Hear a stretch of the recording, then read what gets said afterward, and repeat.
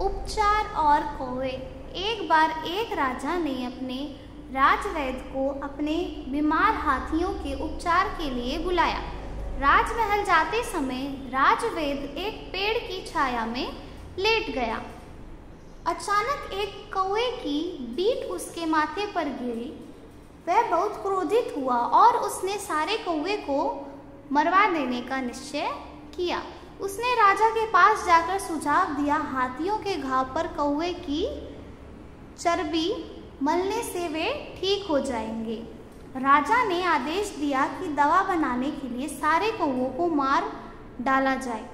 कौए को मारने का काम शुरू कर दिया गया।